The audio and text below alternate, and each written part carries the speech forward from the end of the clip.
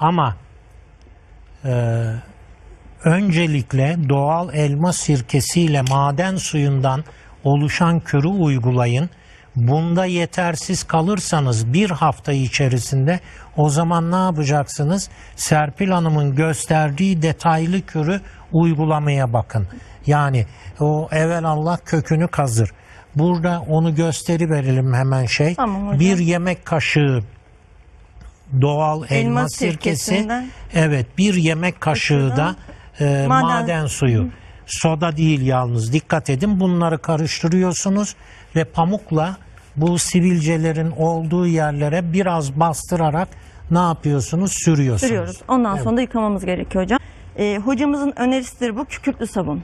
Kükürtlü Evet. sabunla sabah akşam yıkamamız gerekiyor. Ben şundan hocam bu elma sirkesi ve e, maden suyunu benim arkadaşım uyguladı.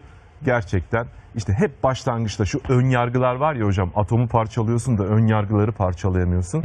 Ya olur mu olur mu dedim sen bir uygula. Hiçbir şey kalmadı. Evet. Yani e, eğer çok kronikleşmemişse, inatçı sivilceler değilse, basit yeni yeni çıkmaya başlamış bir sivilceler grubu varsa o zaman bu maden suyu ve e, doğal elma sirkesi